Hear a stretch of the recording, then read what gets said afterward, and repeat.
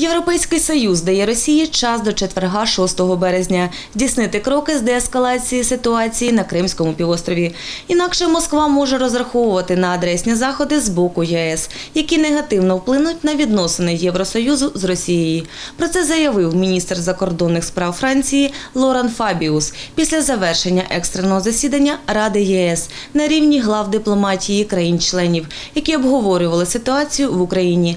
Як стало відомо вже сьогодні, президент Росії Володимир Путін заявив, що проведені недавно Росією військові навчання ніяк не пов'язані з подіями в Україні. Насамперед пропонується згорнути переговори про спрощення візового режиму між Росією і ЄС. Також Європейський Союз загрожує Росії припиненням переговорів щодо підписання нової базової угоди про партнерство та співробітництво. Про додаткові заходи, до яких може вдатися ЄС, голові Міністерства закордонних справ Росії Сергію Лаврову вчора ввечері мав розповісти його німецький колега Франк Вальтер Штанмаєр. Відразу після зустрічі в Брюсселі глава МЗС Федеративної Республіки Німеччини вилітив до Женеви, де знаходиться Лавров. А вже сьогодні або завтра Сергій Лавров обговорить ситуацію в Україні з міністром закордонних справ ЄС Кетрін Ештон в Мадриді. Екстрений саміт ЄС призначено на четвер 6 березня. В Брюсселі під час нього розглядатиметься ситуація в Криму через силові дії Росії проти України, а також відносини з Росією. А тим часом президент Російської Федерації Володимир Путін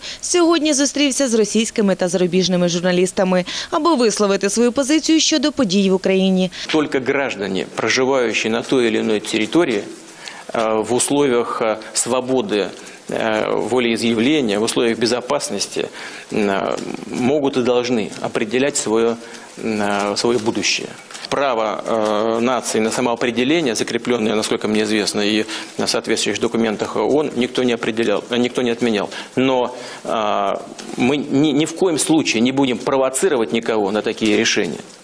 И ни в коем случае не будем подогревать такие настроения. Глава Російської Федерації заявив, що проведені недавно Росією військові навчання ніяк не пов'язані з подіями в Україні. Російський лідер пообіцяв поки не використовувати війська і фактично відмовився від планів анексії українських територій.